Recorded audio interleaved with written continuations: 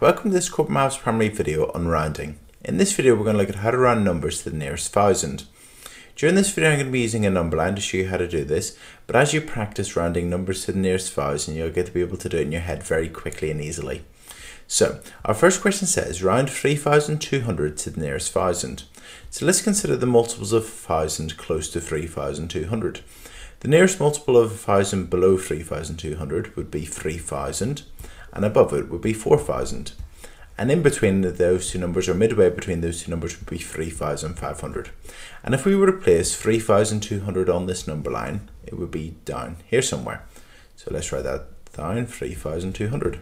So as you can see, 3200 is much closer to 3000 than it is to 4000. So our answer would be 3000.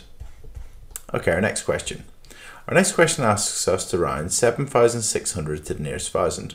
So the multiples of 1,000 close to 7,600 would be, well, 7,000 and 8,000.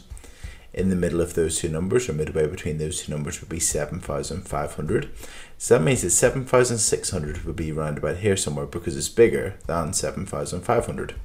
So that means that 7,600 is closer to 8,000 than it is to 7,000. So our answer would be 8,000. Okay, our next question.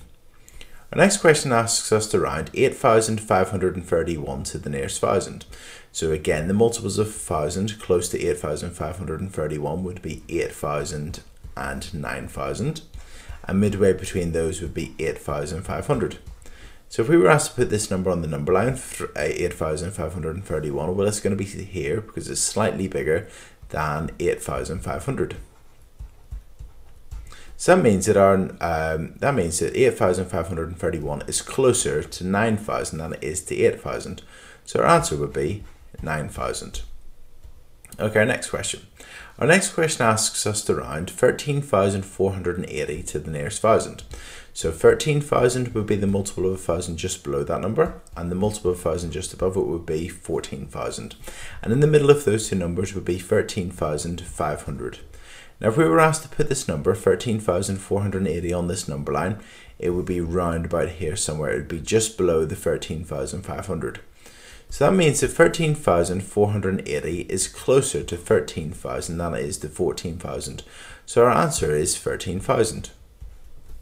Okay, our next question. Our next question asks us to round 24,692 to the nearest thousand. So 24,000 would be the multiple of 1,000 below it, and 25,000 would be the multiple of 1,000 just above it, and in the middle would be 24,500. So if we were asked to put this number, 24,692 on the number line, it would be over here somewhere because it's bigger than 24,500. So that means that 24,692 is closer to 25,000 than it is to 24,000.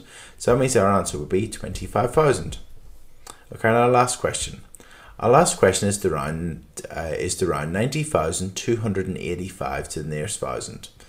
So without using the number line to do this, um, this number, 90,285, would be in between 90,000 and 91,000 and the number in the middle would be 90,500.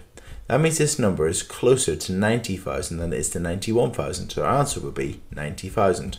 And just to show that on the number line, 90,000 is the multiple of 1,000 just below it, 91,000 is the multiple of 1,000 above it, and in the middle would be 90,500. This number is closer to, uh, or sorry, this number is below 90,500, so it'd be around about here on the number line. So it's closer to 90,000 than it is to 91,000, and that's it.